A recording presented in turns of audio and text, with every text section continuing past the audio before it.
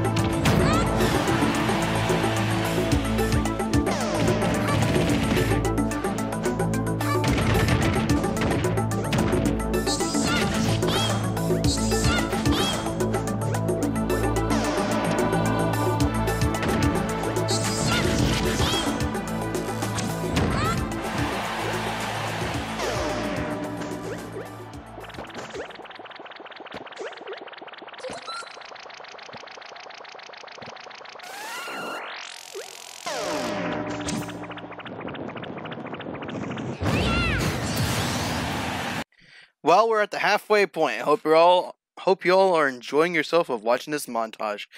I had a lot of fun making this, and if you want to see more, be sure to like, comment, and subscribe. Please tell me how I can improve in, in the comment section below. And this is Jem Fury signing off. Please enjoy the rest of the montage.